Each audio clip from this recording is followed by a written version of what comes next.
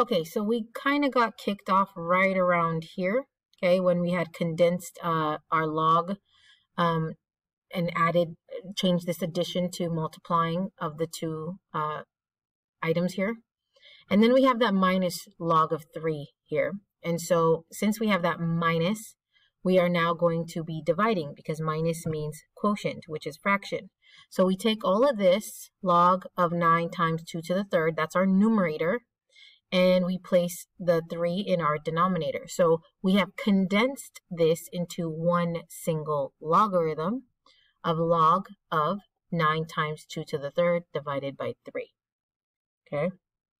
So go ahead and pause the video and try uh, example B here. Again, if you need to pause and listen to this or rewind and listen to this again, please do so. Uh, I want you guys to try this out yourselves. Okay, so go ahead and pause. All right, so now that you've tried it on your own, go ahead and check your answer against mine.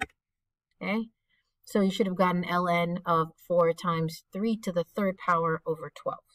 Okay, and I know you're thinking, maybe, what if we can actually simplify that? But as of right now, I don't want you to simplify it. Okay.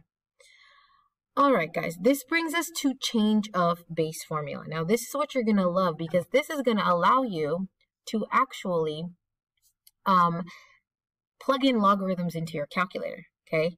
So the change of base formula essentially says that you can change the base of any logarithm, okay? And the form works like this, okay? So let's say you have log base c of a, and c and a are just any numbers, right? and you can't work with this base of C and you want to change it to another base, okay? Well, you can easily change it by turning this into a fraction of logs.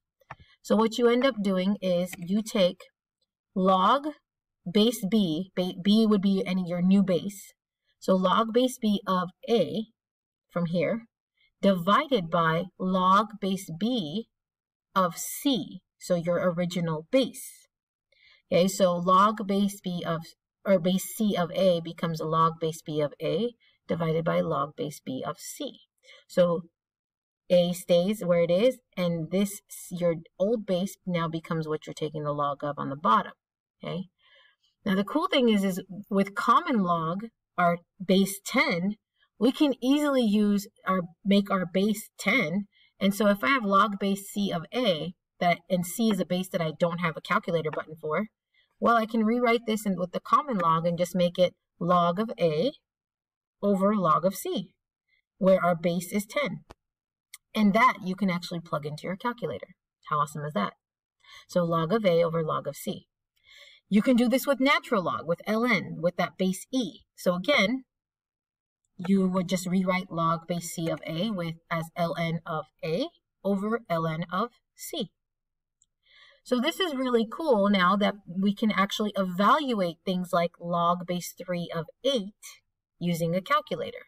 So if I use common log, that's my base of 10, log base 3 of 8, okay, becomes log base 10 of 8 over log base 10 of 3.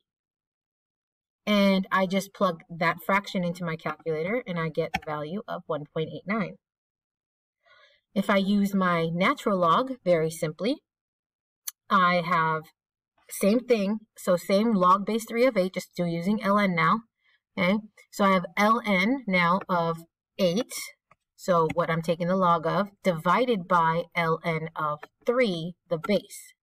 Okay, the order does matter. You do need to have the base and the bottom. Okay, um, so when I plug that into the calculator, lo and behold, we get the same exact value. So we can conclude that it doesn't really matter whether we use the base 10 or the, the base E, um, because you're essentially changing the base to whatever you want it to be. It's going to give you the same end result. Okay, so go ahead and try this one out. So again, we have log base 6 of 24. We want to evaluate it using a calculator.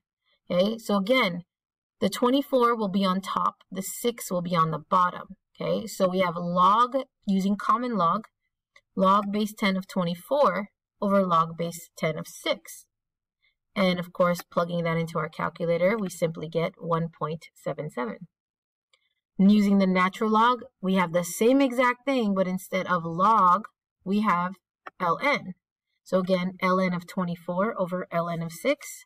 And if you guessed it, you're right, it is equal to 1.77. Okay, so I want you guys to go ahead and try these out. And I'm not putting a restriction. You can literally use natural log or common log. You can use base 10 or base E. Set up the ratio, plug it into your calculator, pause the video so you can actually work through these. Now that you've had a chance to work through them, okay, go ahead and check your answers against mine. Okay, and if you're good, then that's great. Okay, go on to Khan Academy. So you're going to be working on Khan Academy now.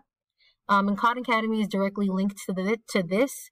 It's going to be a way for you guys to practice a little bit more about what we just did.